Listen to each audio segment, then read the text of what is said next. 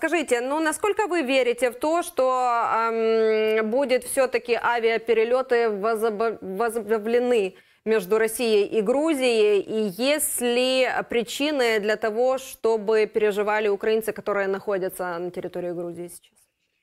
Скажу так, ну давайте разделим эти два вопроса. Первый вопрос это по поводу авиаперелетов. Я думаю, что это все-таки маловероятно, потому что подавляющее большинство населения Грузии оно против, а те, те, которые не против, те индифферентны. За очень маленькая часть. Поэтому я не думаю, что власти Грузии пойдут на это. Ну, если они... Кстати, мы, не, мы ведь не прекращали авиаперелеты. Авиаперелеты превратила Россия. Поэтому только Россия может их возобновить. Другое дело, что, конечно же, согласие наших властей на это нужно. И я не думаю, что, в принципе, сейчас это удобный и хороший случай, чтобы возобновить эти авиаперелеты, скорее, с точностью да наоборот. Еще раз говорю, большинство населения против. Теперь, что касается второй части вопроса. Вот вы знаете, уже во второй раз я вижу, что э, то, что говорит Андрей Касьянов, человек, которого я прекрасно знаю, могу назвать своим другом, временно поверенный в делах э, Украины в Грузии. Из, из его слов, из его очень больших интервью выдергивается одна фраза, и она, значит, становится ключевой. В прошлый раз это было про Буки, сейчас это mm-hmm. про то, но опять-таки, что сказал Андрей? Андрей сказал, что если вдруг будет такая угроза, мы готовы. И, конечно же, посольство Украины готово. Но я практически уверен, что такой угрозы не возникнет. А, во-первых, такой угрозы не возникнет. Б, второе, это то, что я не говорю, я не говорил с Андреем. То есть я пока эту ситуацию не обсуждал. Может быть, у него есть информация какая-то, а если есть информация, то я вам ее и не скажу, конечно же. Э, но факт остается фактом, что сама по себе ситуация, она из серии абсурдных. То есть э, Россия страна, э, с которой Грузия находится в состоянии перемирия, то есть войны, иначе и которая оккупирует два, два региона Грузии, 20% населения Грузии, будет возобновлять авиасообщение в то время, когда весь мир бежит от России. Получается вообще абсурдная, абсурднейшая ситуация еще и потому, что когда весь мир бежал к России, мы бежали от России. И мы ну, тут надо разделять. Но тут надо давайте разделять грузинский. Скажем, мы были, мы были тут... абсолютно одиноки в своем бегстве э, от России. Украинцы на, на нас тогда смотрели с поддержкой, но это была поддержка только очень небольшой части страны. Очень небольшой. А в основном мы были одиноки в своем бегстве. А сейчас, когда весь мир бежит от России, то эти власти бегут к России. И вот пойдите и разберитесь. Вот, я, я в этом контексте характера. вас и хочу спросить, ну вот нужно ли в этом вопросе тогда разделять э, грузинский народ и грузинскую, и грузинскую власть, да, вот я, даже в вопросе авиаперелетов и его возобновления, да, вы говорите, что не поддерживают люди, но, очевидно, на это может Нельзя пойти... разделять власть. народ и власть. Нельзя разделять народ и власть. Если мы будем разделять грузинский народ и грузинские, грузинскую власть, то почему мы разделяем тогда российский, да, не разделяем российский народ и российскую власть? В чем разница? Нельзя разделять народ и власть. В том-то и все дело. Коллективная ответственность лежит на всех.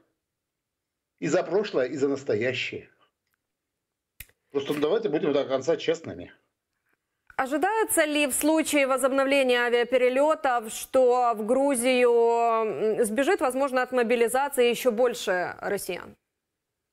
В случае возобновления авиаперелетов не ожидается. Ожидается, что если будет, ну скажем так, если будут ужесточены условия мобилизации, тогда побегут. Но сейчас э, путинская власть поумнела, сейчас вот так вот э, вбросы такие, которые они сделали в сентябре, они уже не делают. Они тихо, планомерно просто мобилизуют на убой тех, кого могут. А могут они мобилизовать всех. Ну давайте прямо скажем, ресурсов для того, чтобы мобилизовать пушечное мясо, у них более чем достаточно. Им абсолютно наплевать, нарожают еще бабы или не нарожают. Не нарожают им больше бабы. Но в данном случае Путину наплевать на это. То есть даже не нужно э, объявлять военное положение, закрыва, закрывать границы, цели, которые поставили, будут достигнуты. Я по количеству набранных людей. Ну, конечно, будут достигнуты. Смотрите, они создали машину, несовершенную, все как, как обычно, шиворот на выворот, на авось и так далее. Но все-таки это машина, это государственная машина, которая работает и которая потихоньку-потихоньку притирается. Да, конечно, у них Обычный русский бардак, обычная коррупция и так далее и тому подобное. Но так или иначе мобилизационный забрить солдаты и бросить э, умирать в поля Украины, у них достаточно людей. Будут ли подгонять сейчас этот процесс, э, ну вот, очевидно, к годовщине этой условной СВО 24 февраля, потому что, ну, западные аналитики, видите, военные в том числе говорят о том, что может быть новое а, наступление, что они готовятся. Будут ли подгонять сейчас как-то ускорять этот процесс? Очень хотелось бы. Очень хотелось бы, чтобы они подгоняли, потому что они обычно, когда подгоняют и спешат, они совершают такие ошибки, что которые, которые, ну как бы у них и так фактически, ну они бросают э, свое население в жерло Молоха войны. Понятно, что, к сожалению, при этом погибает и немало украинцев, это ясно. Но все-таки все больше и больше война в Украине мне начинает напоминать войну британцев с зулусами. Кто тут британцы, а кто зулусы, вы можете понять сами. Как при этом вы видите, замечаете э, смену риторики русских пропагандистов? Мы вот говорили и вчера, а в частности, о том, что появляется не только слово «война» теперь на их эфирах, но и слово «поражение», слова «проигрыш», слова о том, что как будет, какой будет Россия после этой войны, после проигрыша. О чем это сигнализирует? Вы знаете, это сигнализирует, ну, во-первых, там разные телеграм-каналы, разные пропагандисты, разные, к разным лагерям относятся. Это символизирует, во-первых, раздрай, а во-вторых, о том, что, ну, в общем-то, это уже давно появилось, например, та же Симонян, когда заявила о том, что вплоть до дворника кремлевского все пойдут в Гаагу.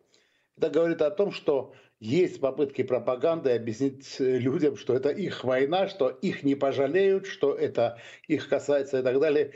Но это э, достаточно тщетно делать, потому что объясняй, не объясняй, ну, в данном случае силовой ресурс у них достаточно, чтобы подавить любое сопротивление. А, скажем так, для того, чтобы сделать э, войну народной поистине, вот этого ресурса у них нет. А э, главный ресурс должен быть, э, должна быть какая-то правда, хоть что, какая-то зацепка. Ну, конечно же, окна памяти у них в Орловском смысле существуют, но все-таки ну, ну, не, полный же, не полный же дебил. Значит, все, так или иначе все помнят, что и как. Даже если мы будем считать, что, ну, допустим, не все, далеко не все имеют доступ к интернету и так далее.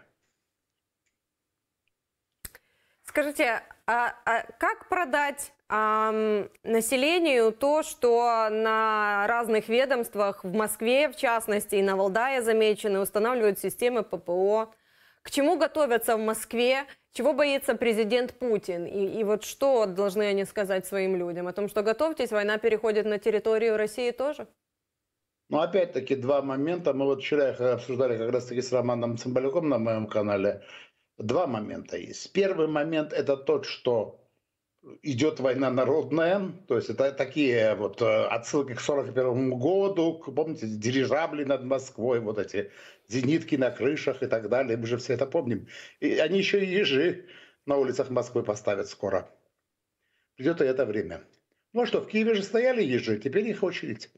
А, впрочем, речь не от ВСУ, там от других будут ставить. Ну, а с другой стороны, ну, они прекрасно знают, что их могут бомбить. Извините, но Энгельс дальше, чем Москва от Украины. А Энгельс бомбили, и Энгельс, я не скажу, что там же бомбили не, значит, училище какое-то военное, там бомбили аэродром. Достаточно успешно, между прочим. Бомбардировщиков. Достаточно успешно. Призыв э, не курите где попало, а курите там, где еще не попало, он в действии. Ну и на фоне последнего Рамштайна, кстати, насколько актуально усилить ППО Российской Федерации и Москвы в частности? На фоне последнего Рамштайна, я думаю, что недостаточно усиленно они должны усиливать э, больше и больше, хотя, в принципе, это не поможет, но хотя бы они потом скажут, что сделали все, что могли. А я слышала еще такую конспирологическую где-то версию о том, что а, Путин, в частности, боится непосредственно своих, того, что может произойти в Москве. Поэтому готовится, поэтому и на Валдае увидели вот такой панцирь, и, и, и в Москве тоже. Вы допускаете такой вариант? Не допускаю своих, он всегда боится, и от своих у него давно есть защита. Своих он боится с первого дня. Сейчас он боится конкретно украинцев. Сейчас он боится конкретно высоких. И правильно делает, что боится. Правильно робить. Дякую дуже, що доєдналися. Гела Васадзе, експерт грузинського центру стратегічного аналізу, був в етері Апостроф ТВ.